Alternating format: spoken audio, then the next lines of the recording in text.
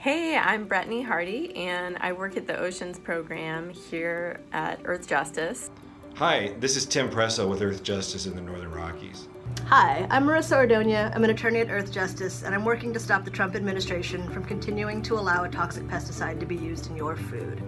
I work to protect our oceans and to stop the expansion of offshore oil and gas drilling. My case is just one of 115 open legal matters that we have challenging this administration. During the past year, we had the privilege of going to court to protect Yellowstone grizzly bears from the threat of a hunt, the first hunt scheduled for grizzlies in this region in more than 40 years. We won that case.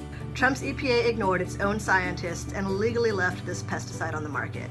So we sued him and we won. Um, unfortunately, the Trump administration is continuing to push forward and open up 90% of our oceans to offshore oil and gas drilling. But EPA is continuing to delay while this poison remains on our food. We're back in court to make sure that they follow the law and that people are protected from this pesticide. During the year ahead, we know that our adversaries aren't going anywhere, but neither are we.